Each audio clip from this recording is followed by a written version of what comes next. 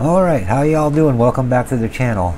Today I'm going to go ahead and start building a new video series where I teach you how to build a custom setup that's going to be fast and balanced for the new Craftsman truck model that just released in this latest build.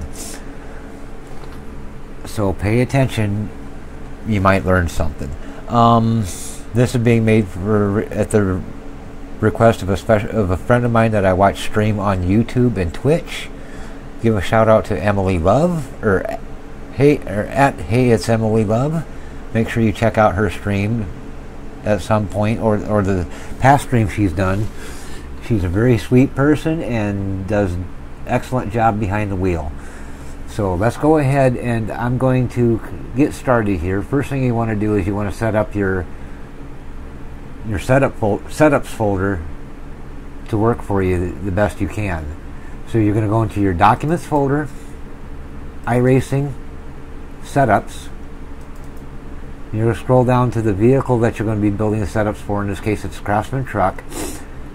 And they got several different versions of it, models of it. They got the uh, Toyota version, the Chevrolet version, and of course, my favorite, the Ford F-150. That's what I use. So I'm going to go ahead and open up my Ford F-150 as soon as I scroll down to it. There it is. You simply open up that folder and inside that folder this is where all your setups will be stored. What I recommend doing is creating a folder for each season that you're going to be racing.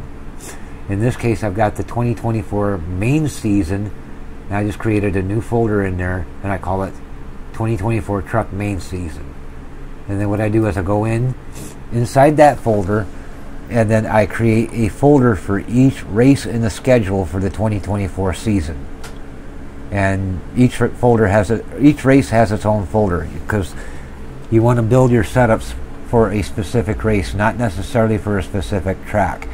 Because July at Daytona is going to be way way different than Daytona in August just because of different weather conditions and track temperatures and so on, and the fact that the tracks may deteriorate somewhat, although albeit unlikely in an iRacing, which are because they're digital, but in the real world, you would basically make a setup for each specific race. So I'm going to have each race its own separate folder in my main season folder, and I'm going to have them numbered according to what they are in the schedule. And you can just go to the iRacing schedule to get these folders. And we're going to be working with Pocono now, there is a Excel file I have made available on Emily's Discord that will allow you to go through and track your setup as you're building it, keep track of your lap times, your tire wear, and that kind of thing so that you can see your setup progress as you, as you make changes to it. So I'm going to go ahead and open that right now. I've already got it open, so basically I'm going to pull it over here to the side so you, you guys can see it real quick.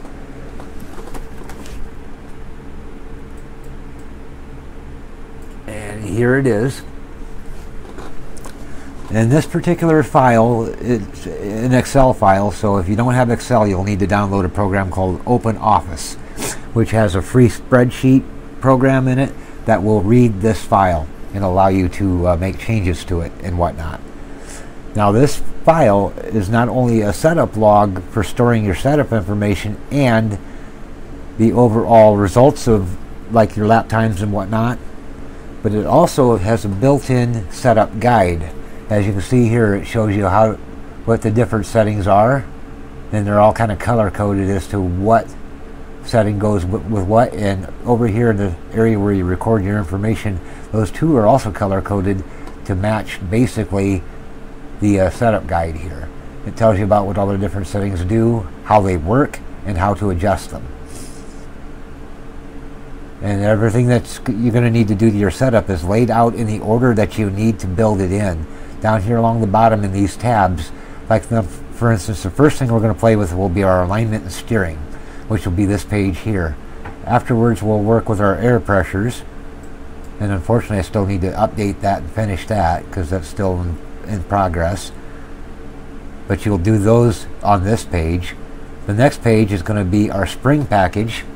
page where we build our spring package for the rear of the truck and for the front of the truck. Once we get that done, we'll move on to our front anti-roll bar or sway bars. Next step will be going to nose weight. The step after that will be our cross weight. Step after that will be our aero and ride heights. After we get the ride heights and aero part done, we move on to setting our high-speed shock settings. And then we move over, after our high-speed shock settings are taken care of, we will move over to our low-speed shock settings. And as you can see here, I have little charts that tell you what each setting does to the to the car when you make the change a change to it. For example, if you put more compression or more low speed compression on the left rear shock, it will tighten up your exit. Less compression on the left rear shock will loosen your exit and so on.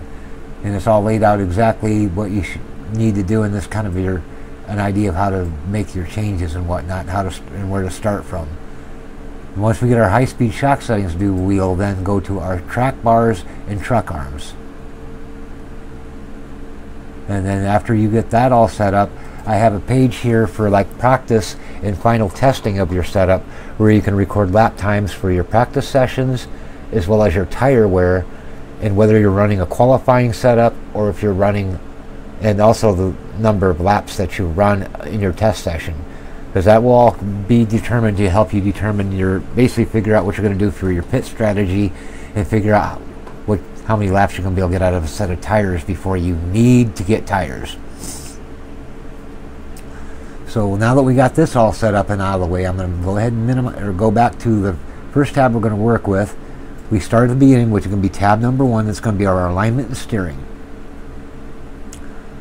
And the first thing we need to do is get this temporarily out of the way for the moment. I'll just move it over here. Also, you're going to need my updated version of the Motec workbook for the trucks. And I will also make that available on Emily on the Discord as well. Or I'll just put a copy of it in my Google Drive like I did the first time.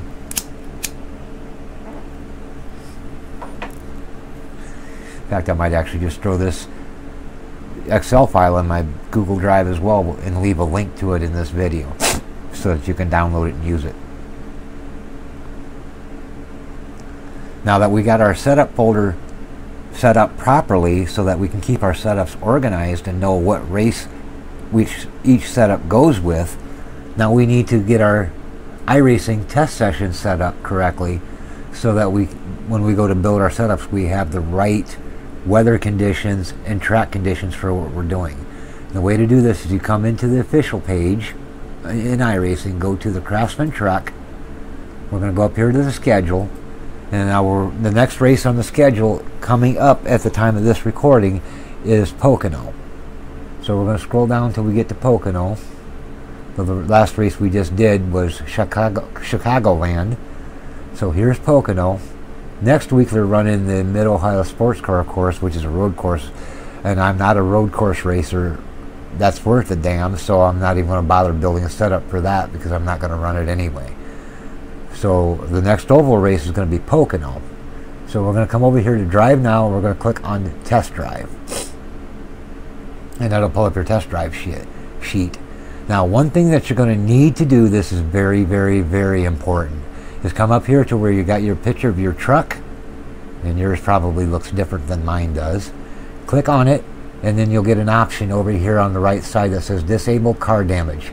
We need to make sure this is checked because we want to make sure that the car does not receive any damage in the event we hit something out on the racetrack. Like if we go in the corner, don't turn, and we hit the wall. Because any damage your truck takes from hitting the wall or something like that is going to change the setup and change the way the truck drives because we'll bend stuff, we'll break stuff. The truck will not drive the same, and we want to make sure that we eliminate that variable in our setup so that when we go out and drive it, if the truck feels different, it's because of a setup change we made that we're aware of and we know about, instead of a change that happened because we goofed and hit the wall and bent something on the truck and have no way to measure exactly how much it changed. So make sure car damage is disabled. The next thing we're going to do is come up here to where the weather is at, click on it, and scroll down to track condition. There will be a generate option here. Uncheck that, and then slide your slider bar up to the 50% mark. This means that the track is going to basically be basically in half used condition. It's not going to be fully rubbered in, but it isn't going to be green either. Once you get that done, these settings we just made to your setup test session will not save unless we close out the test drive session and then come back and click the test drive button on the iRacing main screen. And then as soon as we do that, all of our settings for everything will be how we had them before. So when we come in to reload this test session at another time, it will be ready, everything will be set right. Now if you run a different car or do any other changes or something like that, run a different series or a different track, or go back to the Pocono track and click test drive under the drive now, it'll erase all those settings. You have to come back in and reset them. Just keep that in mind so that you know what to expect there. Then what the first thing you're going to do then is you're going to click on the test drive button and that will load iRacing so that you can start building your setup. And I'll be back as soon as iRacing loads. Okay, now that we're back in the setup session, it's loaded up. We're going to go ahead and go to our garage in iRacing. And it's important to note at this point, if you already have a setup loaded from a race that you've run or whatever, bought or whatever, make sure you save the setup now because we're going to go in and we're going to start playing with stuff. Once you have your setup saved to wherever you want to save it to, come up here to iRacing Setups, click on that button. It'll ask you if you want to save your current setup, click No.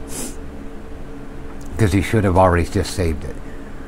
Scroll down until we get to Pocono 2021 which or 2016 rather, which is the example I'm using for building this setup. But basically, this setup process I'm doing will work for anything except for super speedways such as Talladega, Daytona, and Atlanta.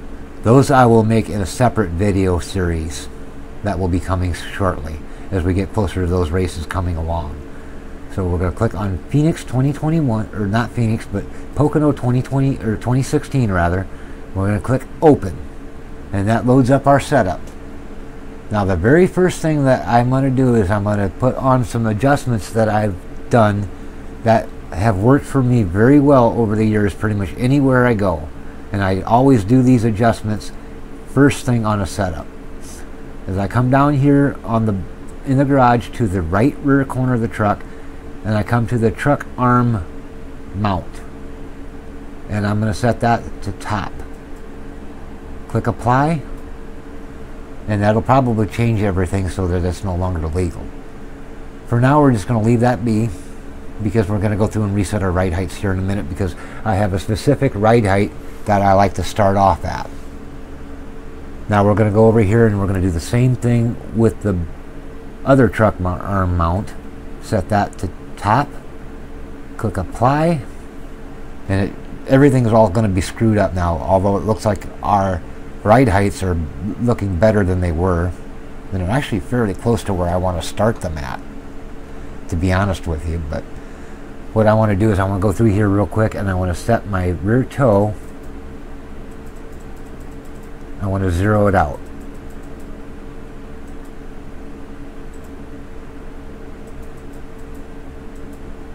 That's my starting point. If I can get it to zero, get it as close to zero as you can get it to start off.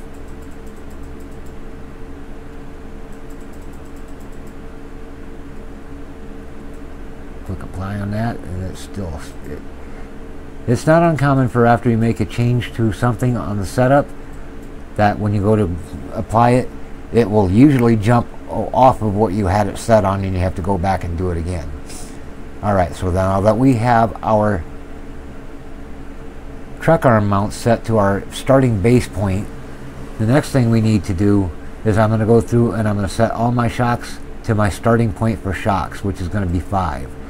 Every shock setting set to 5. And this is what we're going to build our setup around initially. We'll come back later and fine tune our shocks to make sure they're working as best as they possibly can for us. But to start off with, just set these all to 5.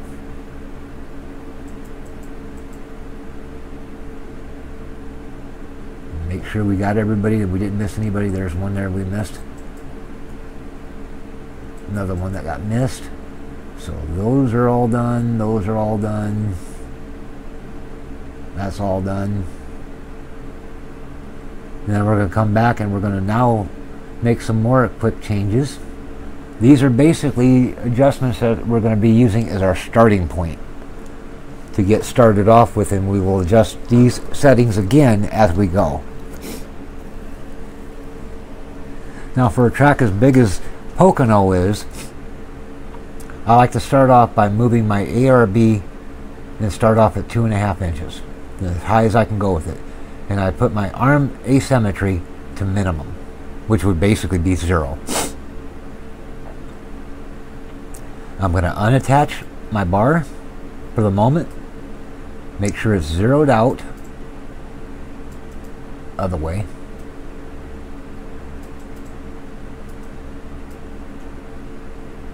Apply it again, reattach. Now that we got it zeroed out, reattach to your bar. We're going to set our front spring rates to 7,500 to start. Oh boy. When that thing starts going, it starts going, don't it?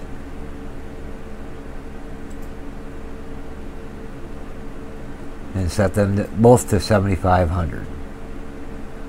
And then we're going to come down to our rear springs, set our left rear, or right rear spring to 650. Apply that, and that's probably going to mess a bunch of shit up. We'll go back and check that here in a minute. Then we're going to come over to the left rear spring and move that up to 650 as well. Apply that. Now let's gone through and it screwed a bunch of our shit up. So what we got to do now is we got to go through here and make sure everything is back where we want to, uh, it to start at.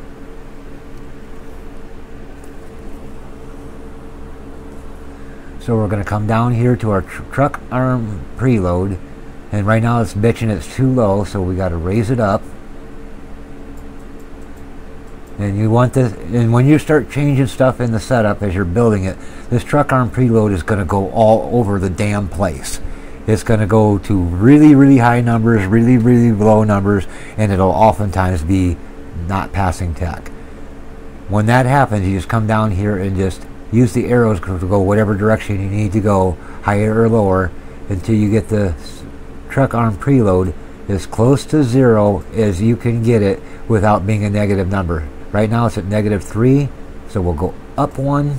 That puts us at positive 1.4, and that's where we're going to leave that for now. We got a few other things we got to throw in the setup here to get it to our baseline, and then we should be ready to go out and start running our preliminary lap to get our offset set, because that's going to be the next thing we set is our offset. That'll be the first real adjustment we make. So let's go ahead and get our baseline put together here. And I'm going to go to the left, I'm going to start on the left rear, and I'm going to put the left rear cam camber at negative 1.5. Apply that. The right, the left rear camber, we're going to put at positive 1.5. Apply that. And you see our preload changed a little bit, it looks like. But right now we're not going to worry about that. We'll go through and do this. Uh, we'll go through and double check it all once we get everything where we want it. We're going to come up here to our front toe in. We're going to set that to zero on both sides and it looks like it's already there. Yep, good deal. Make sure everything's all good to go. Make sure our rear cambers are still the same because as you change stuff, shit will change dramatically in some cases. Other things, you change something and nothing else changes. Alright, then we're going to go up here and we're going to set our preliminary caster setting. Now I like to start my caster out at 10 degrees on the right front. And this is going to be by personal preference.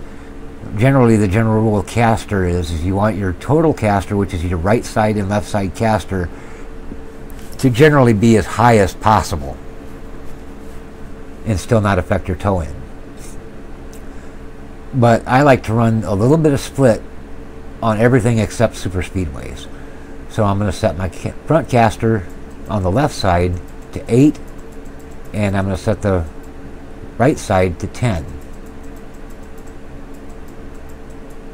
What this does is it gives me 18 degrees of total caster.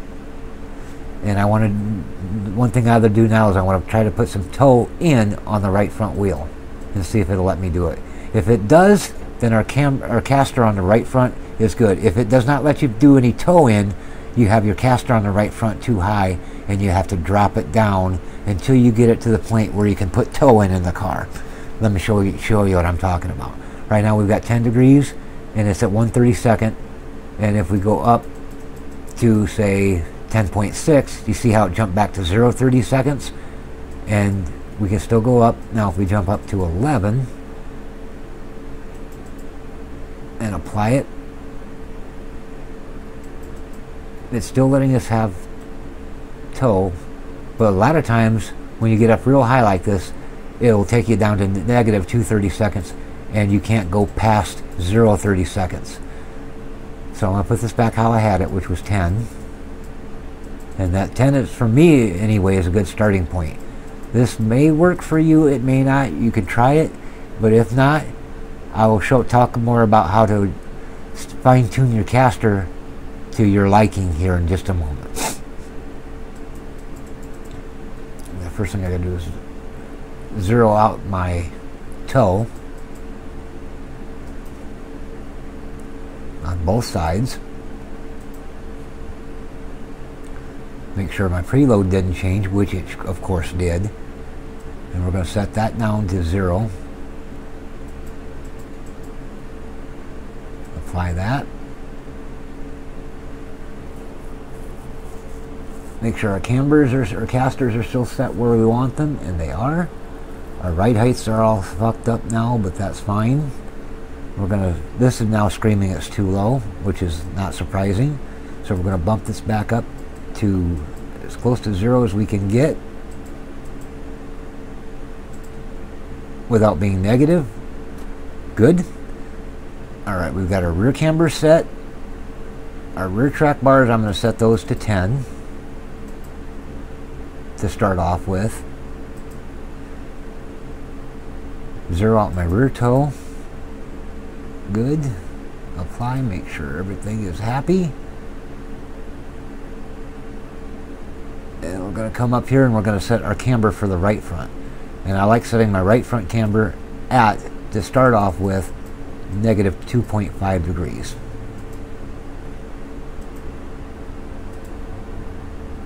And on the left front, I'm not going to care about the right or the, the, left front camber because the left front wheel, basically the only purpose of the left front wheel is to hold the car up off the ground so that you ain't dragging the front end around the track around down pit road when you're trying to get back out on the racetrack. Once you get on the racetrack and start going through the corners, that left front tire does relatively nothing other than maybe spin. It doesn't do anything other than just go along for the ride. In fact, if you've ever watched a dirt race, a dirt sprint car, when they're going through the corners, that left front tire will oftentimes come off of the ground long enough to stop spinning, which tells you right there that right left front tire ain't doing a damn thing. So don't worry about the left front camber. There is some adjustments we may use the left front camber for as we get further in the setup building and we have to work on trying to get our ride heights to pass tech without jumping up too high because we want them to be in a certain spot. We can use the left front camber to fine tune our ride heights on the left front wheel or the left front corner because camber affects ride height. Now right now it says we're too high on the left front And uh, what I want to do is I want to get my right front or my front end ride heights about four and a half or about 4.7 inches. The lowest we can go is 4.5. So we're going to take these down to 4.5. We might want to unattach our bar because it's probably going to move. Because as you start making ride height changes and stuff like that, it will fuck with this preload. And that will, it'll throw it all off and it makes things get really goofy. So right now we're at 4.7 on the left front. We're 4.5 on the right front. Take that up. And you may have to adjust on it a little bit to get it to where you want it to be. In our case, we want 4.7. 4.7. Uh, 4793. 4764. 4771, 4798.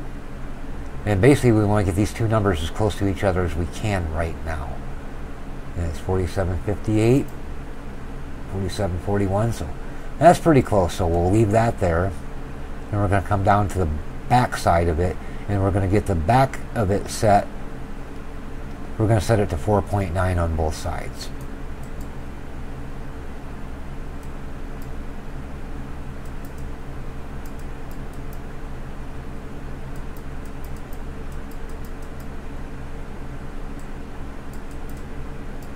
or as close to 4.9 as we can get it. And we want both sides to be as close to the same as we can. 4983, 4992, let's go up and see what our fronts are. 4787. This one can come up a little more. 4731, 4787. Bounce that down. 4719. 4714. 4631, 4722, 4764, and you will have to experiment around and play around with this to get them to where you need them to be. Let's see what our back looks like just to make sure. Those are staying though. We want 4.9 on them. They're fairly close right now. We'll just bounce that one down one, bounce that one down one. That should put them fairly close, more or less.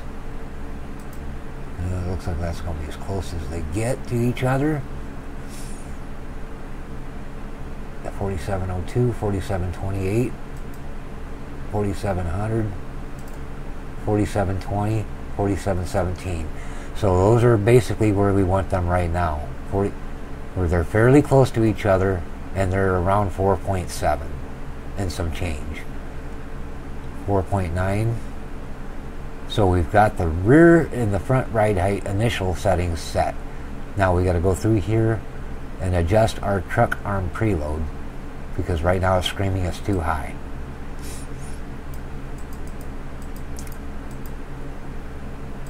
Alright, we're at 3, which is just as close to 0 as we can get without being negative. Click Apply.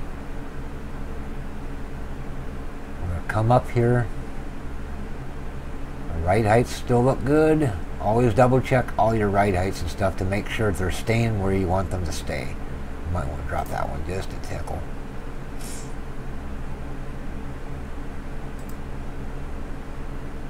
Forty-nine fifty-nine, forty-nine eighty-one. That's close enough. That's good enough because we're going to go back and readjust that later. Forty-seven or forty-eight seventy-five.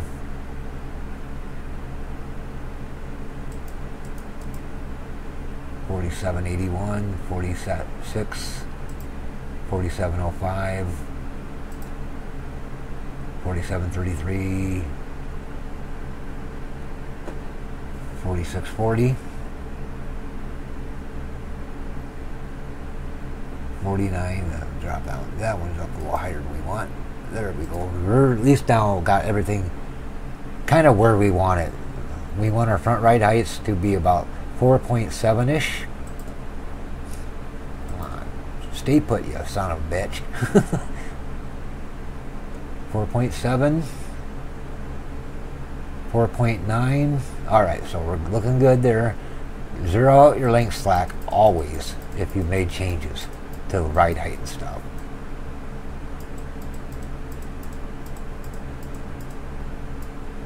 Don't have your link slack negative.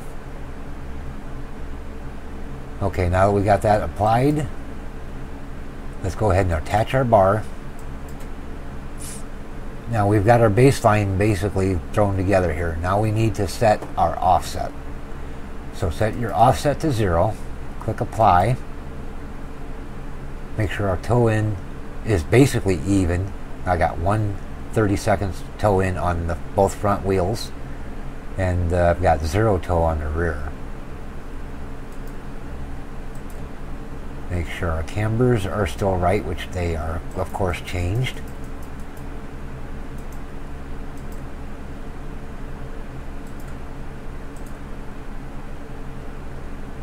And of course that changes our caster.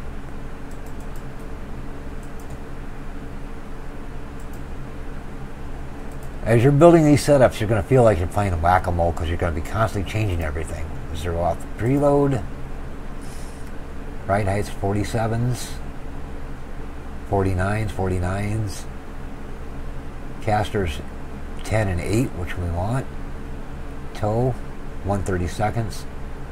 Rear toe, and rear cambers look, everything looks happy. Our pre, rear pre, preload is in good shape. Make sure we remember to also here's at the time this is the time to set your steering ratio.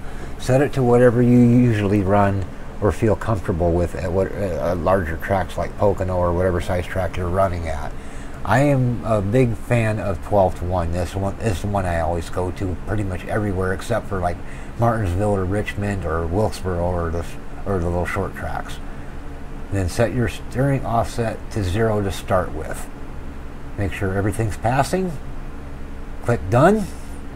And what we're going to do is we're going to right now go out, make sure that our telemetry folder for iRacing is empty. And to get to our telemetry folder, I just mine's already got a short, a quick access on it. So I click on telemetry Make sure that folder is completely empty. If you have telemetry files that you want to save for, for reference or whatever, copy those into a new folder on your hard drive somewhere because it's imperative. It makes life much easier when you're building setups doing this stuff if you keep that telemetry folder empty and only have the telemetry file in there for whatever you're checking or testing.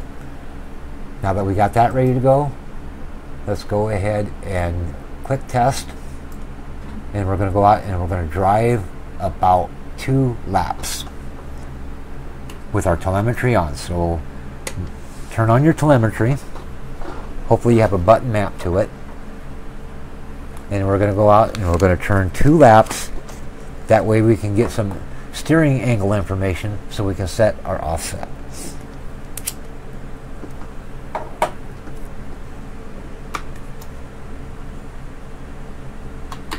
once I turn the truck on.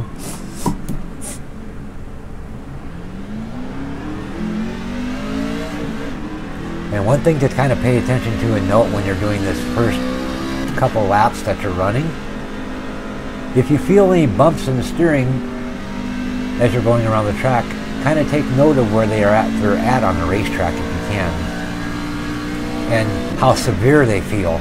If they're really making your wheel jump or jerk, kind of keep that in mind and make a mental note of it because we'll have to correct that later at some point and we're going to use shocks to do that and we'll deal with those when we get to our shock setting. And the truck, generally with the baseline setup we have on it, you should be able to drive it around the track pretty good. And we're going to come around the turn 3 here since I, Pocono don't have a turn 4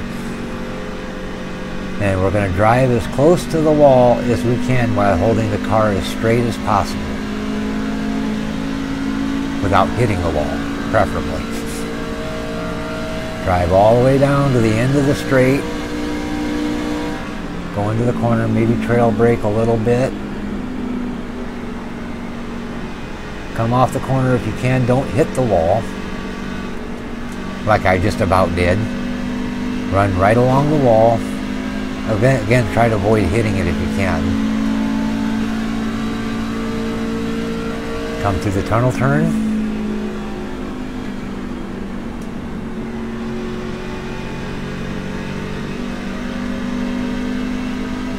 Now your steering offset's probably going to be all goofy looking. Mine's actually pretty close as it right now, but if you're on a different track other than Pocono, it might be all wonky. But just hold the truck as straight as you can down the straightaway, as close to the wall as you can. 58.3. We'll do one more lap just to make sure we got a good clean one in. Because whenever you're doing stuff with telemetry, if you hit the wall, you're probably going to have to throw that telemetry file out because the telemetry data will be skewed because of the wall hit.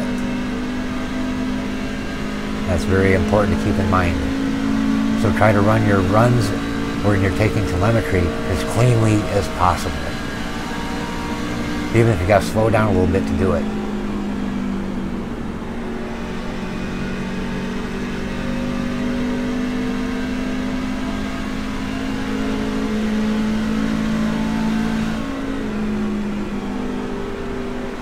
through turn three.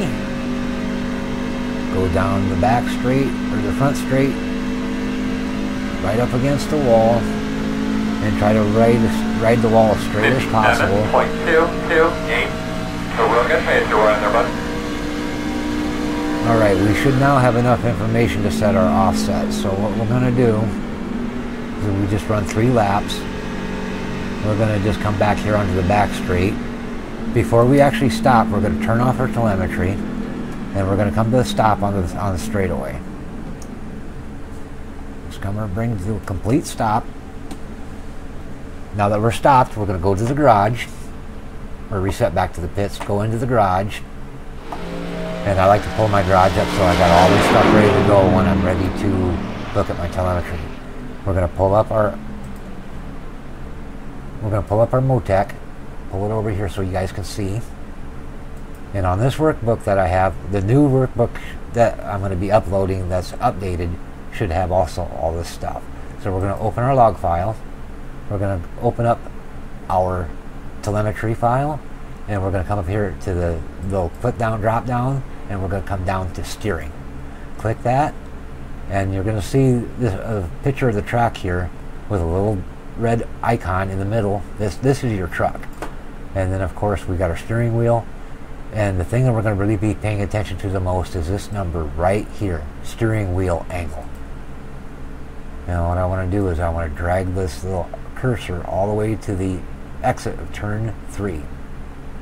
Or turn, well it says there is turn 4. And then we're going to come up here, we're going to click right here and we're going to choose 0.5, per, 0.5 times, which means it's going to run at half speed. This way we can these numbers ain't going to change all that fast so we kind of get a real good idea what number is popping up. We're going to come here click this little play button and we're going to watch the steering angle as it comes down the front straight. Right now we're 6 7 8 9 8 9 10 9 8 kind of keep an eye on where you're at on the track. 9 8 7 8 seven, eight, seven, eight, nine, and just for shits and giggles, we'll drag her back here a little bit further.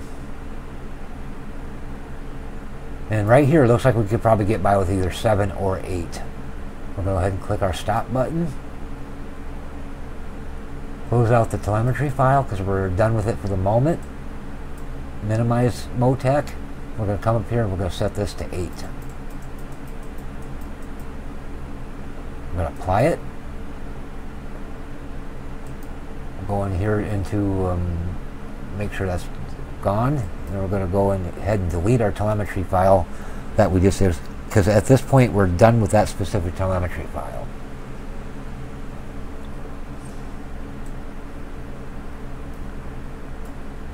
Now what we're going to do is we're going to minimize Motec.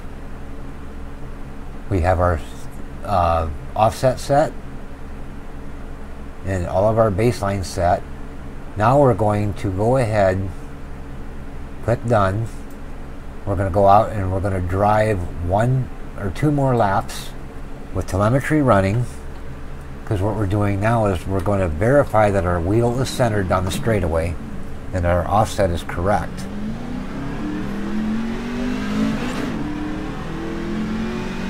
And while at the same time we're doing that, we're going to be recording telemetry data to make sure that our right, or record our ride height data, because we want to make sure that nothing on the truck is hitting the ground. We don't want to have the splitter hitting the ground, and we don't want the rear side skirts to be hitting the ground. So that's what we're doing right now, is just making sure that there is nothing hitting the ground. Because if we have anything hitting the ground, that's going to mess with our setup and make it really hard to troubleshoot and tune problems. Now I'm going to have to take another lap because I hit the wall and skewed my data. So don't hit the wall if you can possibly help it. So that first lap doesn't count. The data in that lap is going to be worthless. So we're going to drive down the straightaway here, make sure that our wheel is centered, and mine is. Mine's nice and centered, just how I want it. And we're going to roll through the corner here. And I don't really feel any bumps, which is kind of surprising. This track is bumpy. But the base spring pack or shock package we've thrown on this thing for building our setup around actually probably is pretty good for bumps.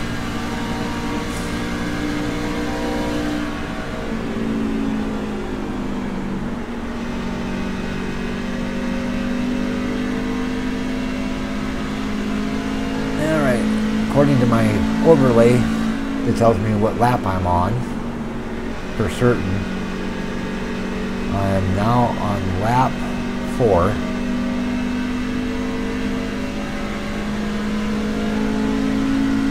Now lap four was a clean lap, so Three, seven. There you go. Good job. this should be a good good lap. Don't hit the wall, don't hit the wall, don't hit the wall. Whatever you do, don't hit the wall. Now on the back straight here, we're going to shut off telemetry and just come to a stop. Now if you hit the wall, it don't matter. Alright, now that we're stopped, we're going to go ahead and pull up our Motec again. This time we're going to come up here to the steering, we're going to come down to where it says aero, click on that, open our log file, and we're going to look at the traces here under the side skirts tab. And what we're looking for is to make sure that our rear skirts aren't below the track surface or a negative number. And right now our left rear skirt is showing a negative number. It's seven hundredths of an inch under. So what I'm in my right side is actually half an inch up. So what I need to do now, I'm going to come over and I'm going to look at my splitter to make sure it's not dragging. And it's actually not on the ground, which is a good thing. It's not actually hitting the ground, but it is a bit high, but we're not going to worry about that right now. So since my side skirts for my truck on the left side are a little bit low and could be causing damage, I'm going to minimize that, jump back to the garage, and I'm going to go to the rear ride height, and I'm going to go up on the rear ride height, right, 4.7 right now, or 4.9 right now. I'm going to go up one click on each side. Click apply, done. Close our log file, delete our telemetry files,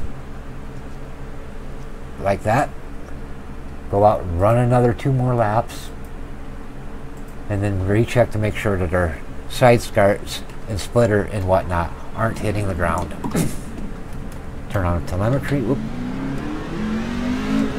Don't forget to turn on your telemetry when you're going out to test. I do that all the damn time, and it frustrates the hell out of me when I get in to Motec and go to open a telemetry log and there's log and there's nothing in there.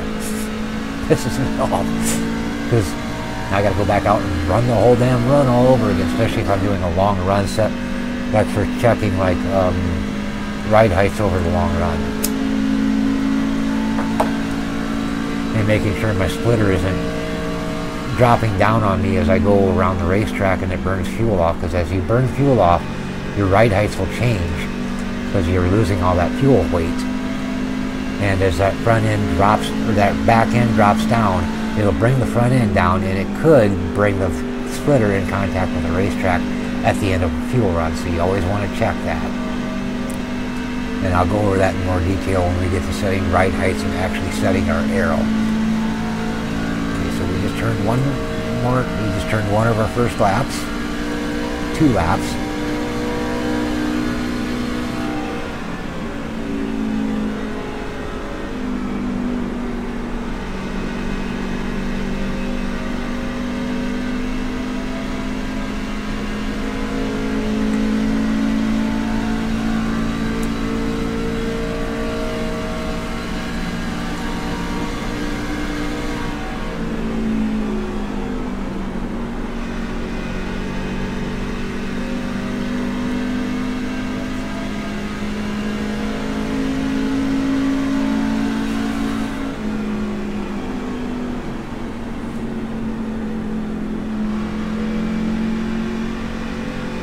grab it. Make sure we complete this lap.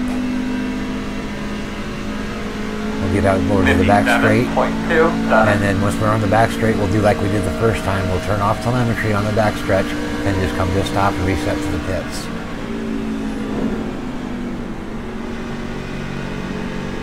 Now I did hear the splitter hit as we come down through there and I got close to the apron and on the apron. So let's turn off our telemetry since we know that we did hear something scrape right there as we're going into the corner, well, we, might see the splitter be too low. Make sure telemetry's off and I don't see the indicator, so let's go over to Motec, open it up.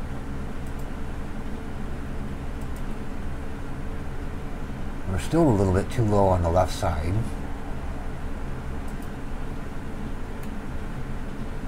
So we're going to go up another click so let's go back out to the uh, garage.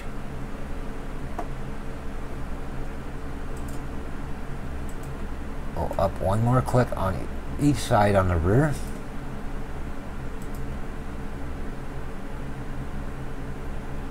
Apply it. Click done. Go back to Motec. Close out our current log. Delete the logs.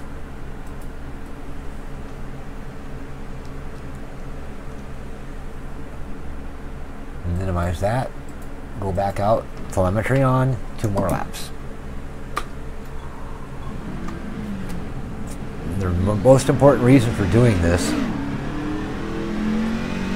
like I said, we got to make sure that nothing is dragging as we're building our setup because if anything's hitting the ground or dragging, it's going to affect our setup and we're going to get a shit setup.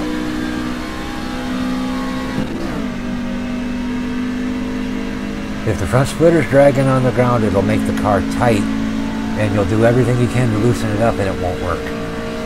Same thing with the rear skirts hitting the track. If the rear skirts are bottoming out and hitting the racetrack, it can make the thing real tight, burn the front tires off, and nothing you do fixes it. And you'll be slow and burn tires even though you're driving it. Even though you're slow, you're going to burn the tires off. So we got to make damn sure before we start doing anything to major to our setup or really working on our setup that we have a good platform in place where nothing is hitting the ground.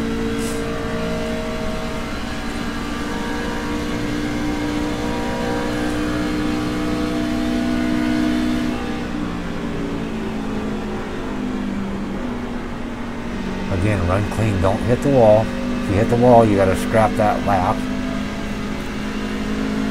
but if you do hit the wall, just keep going and just remember that if you hit on a lap one, the first lap in Motec, you're going to have to ignore that lap data and just move on to the next clean lap that you have. But the good thing about this baseline setup is you should be able to drive it around without hit, hitting the wall or anything. Generally. Might have to slow down a little bit, trail brake the corner, but you should be able to get it around the racetrack. As for a baseline setup to get started, this thing actually don't drive that bad, really. 56.258. Terwilliger Phase Door. Unfortunately, it's not going to be very fast because it's not all optimized and dialed in the way it needs to be. None of the aero's set, the weight balance ain't set right. It's probably going to burn tires like crazy. But right now we're just concerned about being able to get around the racetrack cleanly so that we can get the data we need to determine if we're ready to continue with our setup.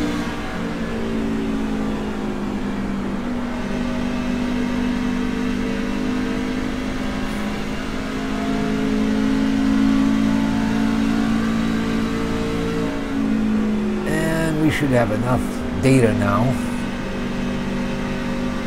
We'll cross the start finish line and we'll turn off telemetry and stop.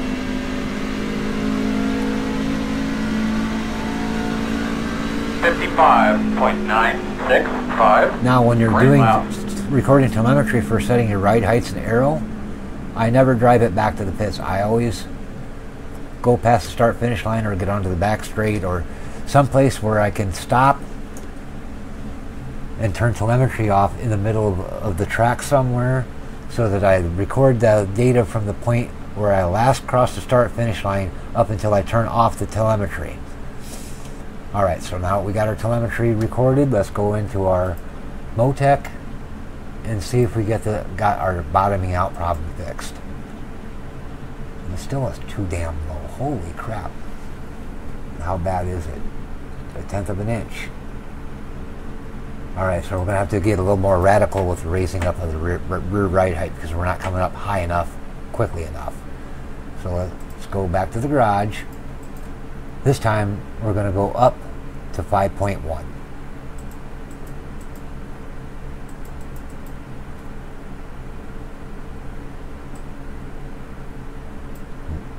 Reset our cambers because they did change. At least the right side did. Left side stayed where it's supposed to. We have no preload. Cambers all look to be happy. Rear preload looks to be happy. Well, actually, we can set the preload right there because that's at one foot pound. It up now it's negative. So let's go up one just to make sure that's positive. All right, 5.1. We now should be able to get around the racetrack without the ass end bottoming out. So let's make sure that our log file is off. It won't let you delete the logs if that's open. Delete that. Let's go out. A Couple more laps just to make sure everything is not dragging. Make sure we don't have a. Make sure our skirts are not on the ground. Telemetry on, don't forget. No, since this is a test session, we don't really have to worry about blend line because we're not going to get black flag. But if you're in an open session in a race lobby or in a race and shit like that, of course you're going to have to follow a blend line and pit road speed limits and everything like that. this is one of the reasons I don't build setups in open in open practice lobbies. Because it takes goddamn long to get off fucking pit road otherwise. And these setups are going to take long enough as it is to build without wasting time just making sure you don't get a speeding penalty coming off pit road or, or have to worry about the damn blend line.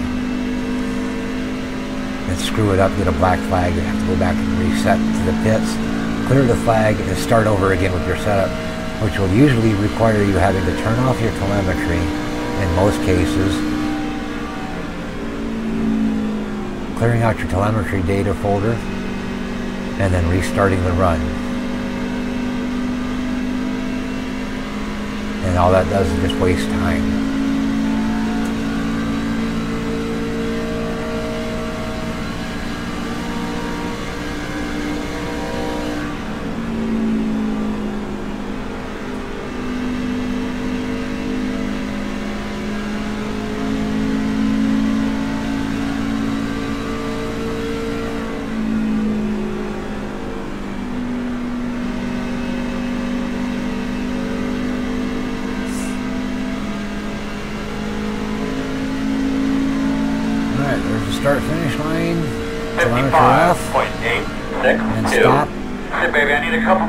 Like that one. At this point, we're just still working on getting our ride height set so that we're not dragging on the ground and that kind of thing. So we're not too worried about our lap times or fuel or lap times or tire wear at this particular point. So let's go back to Motec and see if we got the thing fixed or if we're still too damn low. All right, so now we're 12 hundredths above the track on the left rear, 72 on the right side. So the right side's actually higher than I'd like to actually have it be, but for now it's going to be fine. So that's good. So let's verify our splitter is good and is on both the left and right sides. So we're good to go there. So we can unload that telemetry, delete the telemetry files because we don't need that for the moment. And I'm going to go ahead and close out of Motec because for now I'm done with, I don't need Motec no more. The next thing we're going to do is basically where we're at right now is we're at the point where we're setting our, we got our caster set. Now the way to adjust caster to get it dialed in the way exa exactly the way you want it. When you're out there on the racetrack and you're driving around, you're getting ready to turn into the corner with this baseline setup. If the, you turn the wheel and the thing feels like it's diving down to the infield, you have too much caster split. Well, if it's not turning enough, you don't have enough caster split. And the way to adjust your caster split is in the garage. Since I have 10 degrees on the right front right now and 8 on the left front, I have 2 degrees of caster split. And what that's going to do is it's going to make the truck pull in the direction of the side of the truck that has the lower caster setting. In this case, it's going to be the left side.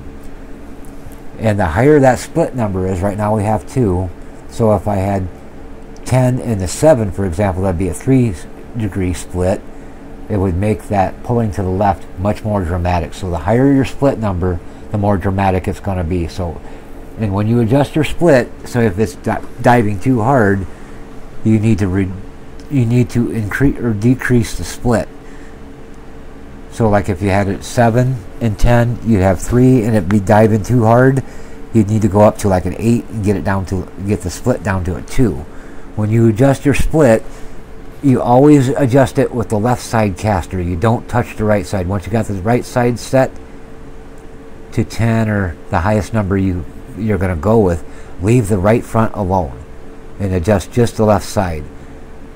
Now, if it's diving in it's because the split's too high, what we're going to do is we're going to raise up the left side caster to bring it closer to the right side to make that split number get smaller.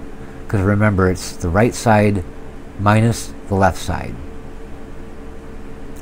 Now that we got our caster set, or you should have your caster set at this point now based on the information. I opened up Motec and I didn't need to. We're going to go in here and we're going to record the data that we've just dealt with in our setup log. So our steering ratio 12 to 1.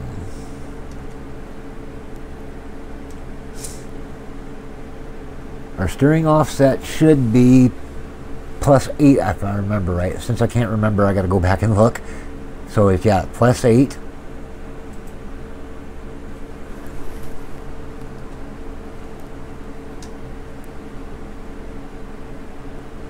Caster on mine is negative, or, or it's going to be 8 on this side.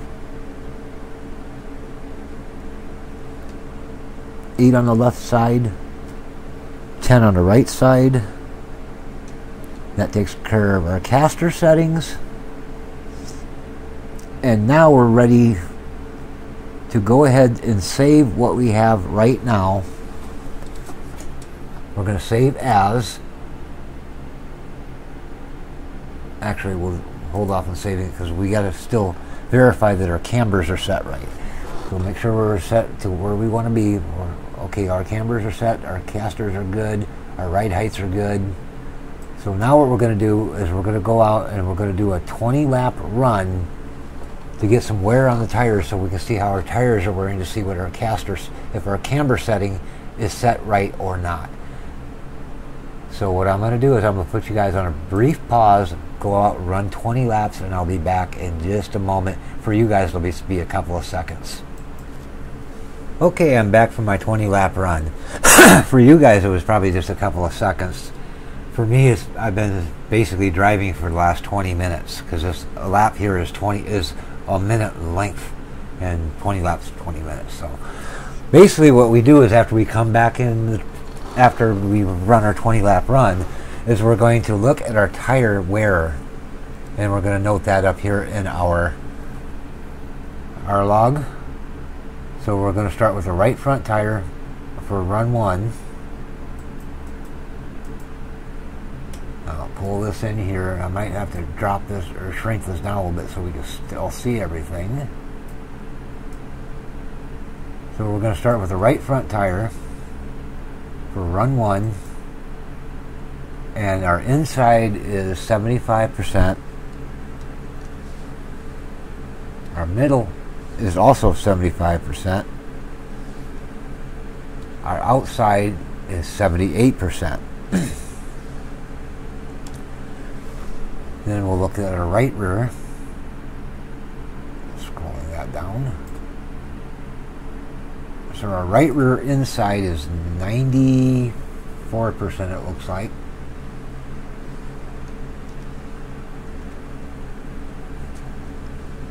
The middle is also 94%. And the outside edge is 95%. Now we're going to look at our right or left rear.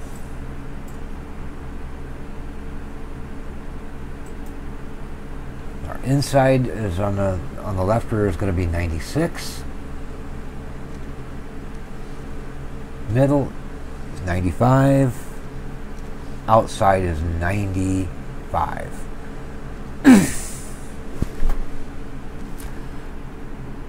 now the reason I like using a spreadsheet is because it allows me to compare over runs whether I'm correcting my if my camber is getting corrected or not as I'm making changes to the camber because I do looks like I do have to do a little bit of adjustment on it because it's not quite right. So what I'm going to do for the moment I'm just going to slide this out of the way so you can see. Go back to our tires. Now our camber on our right front is a little off. It's a little bit it needs to go a little bit more positive on the right front and the reason, and this is how I've determined that. I'm looking at the wear. I want to see even wear across this tire. I want all three of these numbers to be exactly the same on the right front tire, as well as the right rear tire and the left rear tire. I want those numbers to all be the same.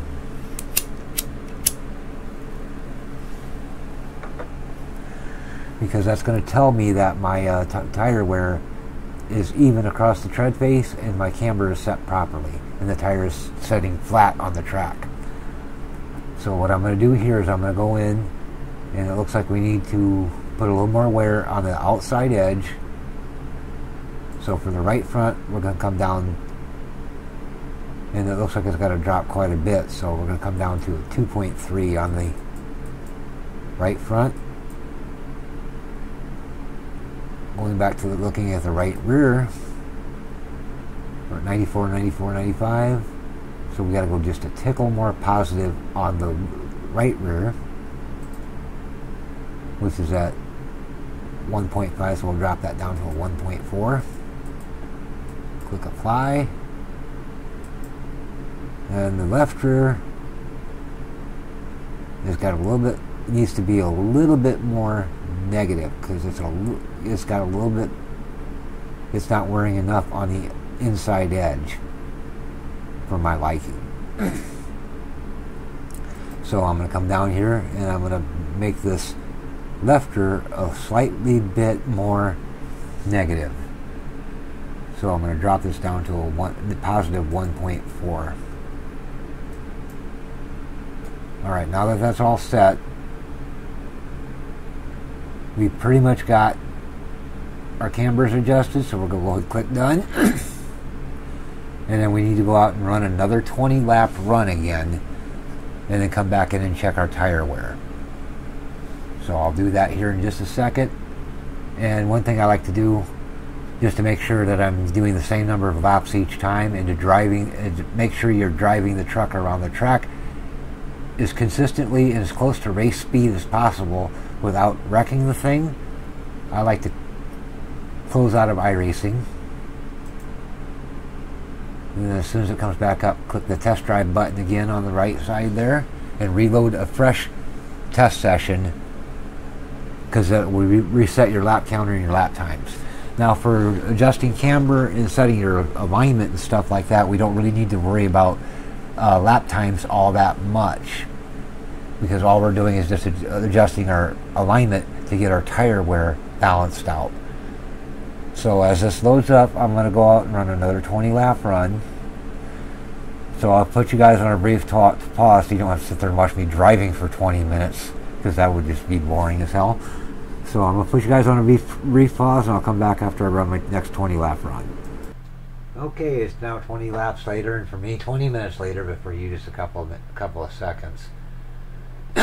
so basically, where we're at right now is I just went out and made my next, my second 20 lap run after doing my adjustments, and I'm looking at my tire wear now, and basically, I'm gonna go ahead and throw this up onto the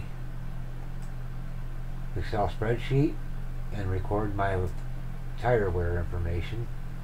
So this would be the second run, or third,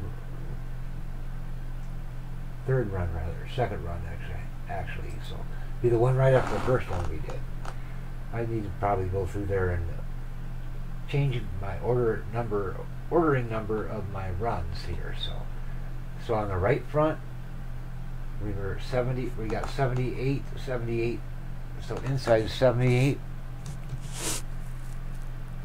middle is 78. Outside is 80.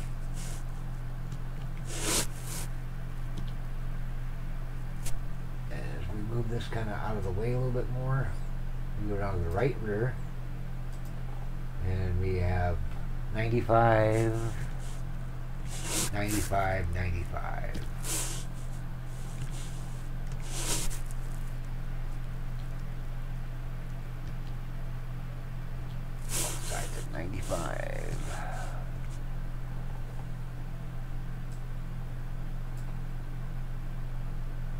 Now we're going to look at the right, or that was a, whoop, I did, that backwards. This should be the left rear, which is 96, 96,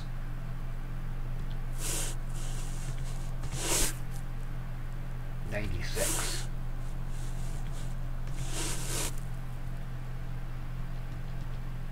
And then our right rear is over here, which is going to be 95. 95 95 all right. So now that we've got that all dialed in there and recorded I'm going to pull this up so we can see it a little bit better. And what I'm seeing here is it looks like my right front camber is now set right. I've got 95 96 95 95 and then the left or left rear 96 96 96 and then our right front 78 78 78 80 so basically what we're aiming for here is for all these percentage numbers to be basically the same across the tire's tread face. There is one exception however to that rule and it would be on this case the right front where we got 78 78 and then 80 what this 80 here actually means is it's probably not so much a camber problem but an air pressure problem. And what's happening is our right front right front tire the air pressure is a little bit too low and it's causing the wear in the middle to not be high enough because that inside that middle section of the tire is cupped up and they're not actually touching the track because air pressure is not high enough. But when you're setting your cambers, your basic goal is to get your tire wear across the tread face of the tire as even as absolutely possible. Because it, when it comes to traction, it's all about surface area. The more of the tire tread you can have in contact with the track, and having the tire tread laying flat on the track, the more grip you're going to get and the more tire life you're going to get. So that's the primary reason for getting these all set the way we do right now. Now for you guys, if you're following along with me, you guys have just done two 20 minute runs on this track since this track is gigantic and it would be a probably not a bad idea to, to take a break from the building for a little bit go watch a little television grab a bite to eat take a nap something like that. Because you don't want to sit here and do, just keep building and building and building and building nonstop in one sitting. Because these setups do take a long time to build. And from what I can see right now just looking at my uh, little clock here on my OBS for my on-screen recording this video alone is uh, just a little over an hour long only 10 minutes but keep in mind I paused it during my 20 minute runs 20 lap runs so in reality I'm probably closer to almost two hours into this setup already just me building it here off camera the part of it I'm doing off camera which is basically the testing. So what we want to go ahead and do here is since we pretty much have our cambers set and our front alignment is all set I'm going to go ahead and record our camber settings. Pull this out of the way and go back up to the garage.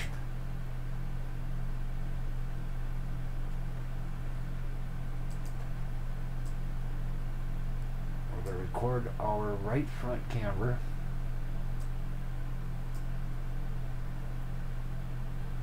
as soon as I get my screen back up here. So my right front camber right now is at negative 2.3.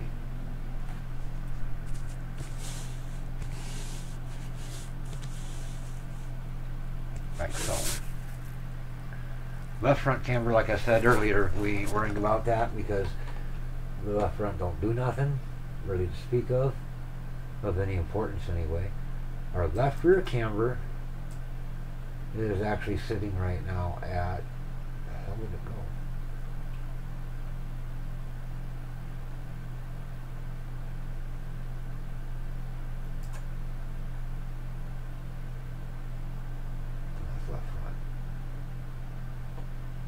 Probably hiding down here a little lower. Yeah, so positive 1.4.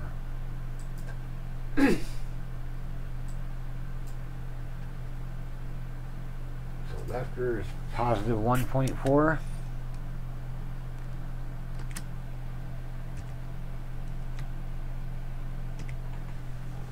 And our right rear is at negative 1.4.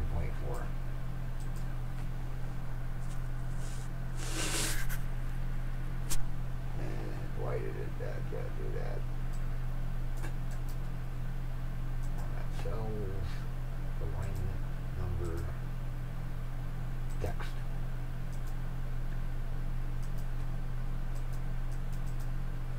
And we want a plus sign there.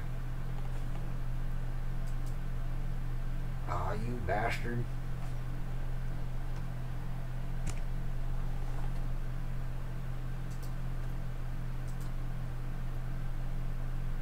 Text. Okay.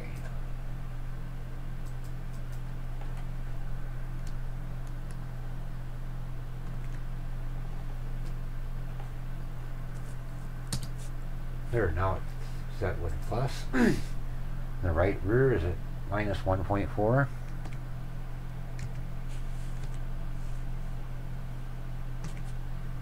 So we got a, our camber settings all recorded. We've got our caster settings recorded.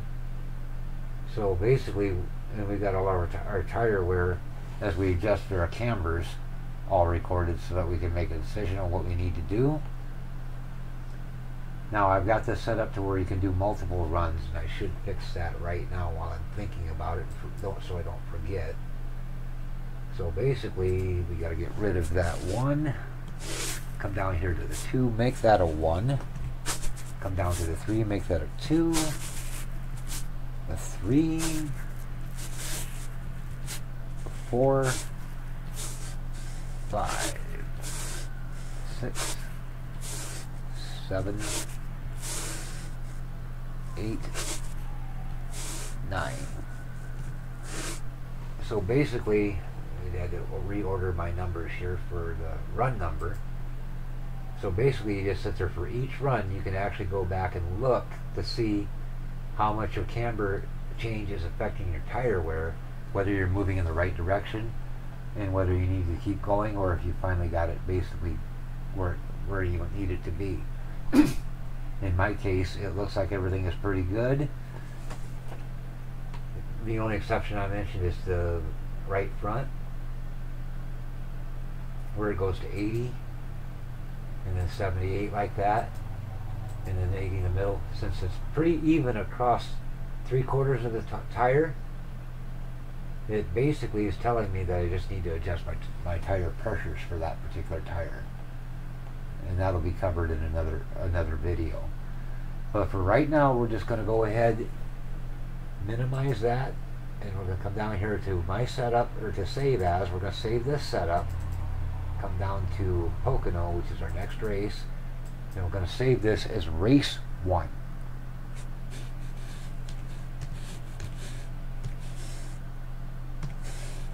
Race dash 1, which is going to be a way of indicating what tab we're in in our spreadsheet. We're on tab 1. We've got our data entered in here, so we're going to go ahead and save this file.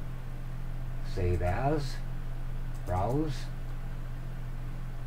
and we're already in our setup folder, truck, main, season for 2024, in the Pocono folder, and we're going to go ahead and save this file. And lastly, if I want to save this, overwrite it, I'm going to choose yes. And this will cover this particular part of the video.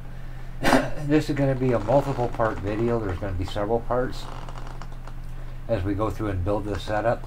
And each of these tabs at the bottom here is going to have its own video associated with it so that it'll be a lot easier for those of you who wish to learn to build a setup in real time and want to follow along with the video with the setup in iRacing and try to actually build one as you watch this video. Breaking them up into multiple sections will make that a lot easier. Just remember, save your settings as you move from video to video, or save your setup as you move from video to video. Just in case something goes wrong, you can revert back to where you were at the end of the previous video. So to recap, we have gone through and we have learned in this video how to build our baseline setup as well as how to have a brief beginner crash course in reading tire wear and how to read our tires to determine if our camber is set properly. There's other things I can learn from this tire wear that I'm seeing here, but that's a topic for another for another video. In the meantime, I did, almost forgot, I forgot to put in my toe. Was it going to be positive 132? Left front's going to be positive 132.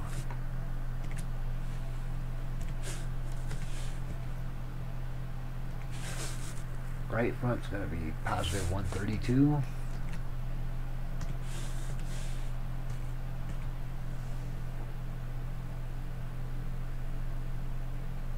Down to our back here. And the, zero, the rear is at zero. So we'll just go ahead and put zeros in there.